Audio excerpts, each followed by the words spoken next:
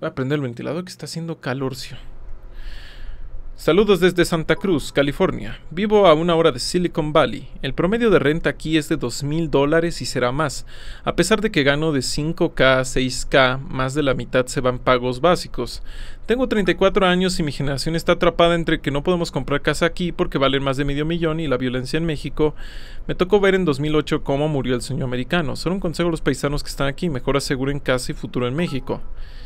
En ciertas zonas del país, pues sí, mira, carnal, yo lo que haría es que si tengo un familiar acá, pues ir mandando varo para que construya algo chingón, grandota acá, o construya varias cosas.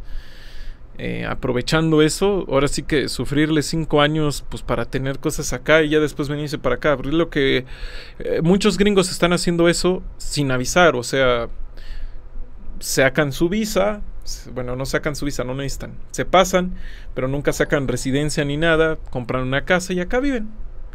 Porque es mucho más barato. O sea, ellos solo tienen que ahorrar.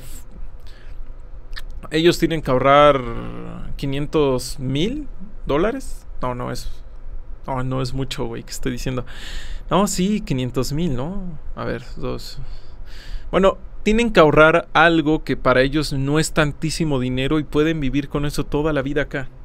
Toda. Y sí, allá en Estados Unidos, así como se gana mucho, se gasta mucho y eso está cabrón.